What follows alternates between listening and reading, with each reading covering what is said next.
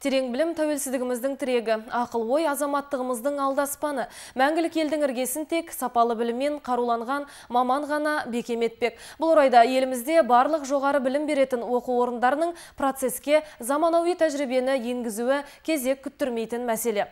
Осында игі мақсатта халықаралық гуманитарлық техникалық университетінің 15 жылдығына орай ғылым білім тәжірибенің үйлестірілуі атты халықаралық конференция өтті. Еліміздің түкпір-түкпірінен және алыс жақын шетелдер елдерден келген оқығандар саладағы жұмыстың жүйелілігін арттыру үшін түрлі тақырыпта баяндамалар жасап ой бөлісті. Ғалымдардың пайымдауынша қоғамда жоғары білімділердің көбеюі зайырлы мемлекетімізді алға сүйрейді. Негізгі тақырыбы елбасының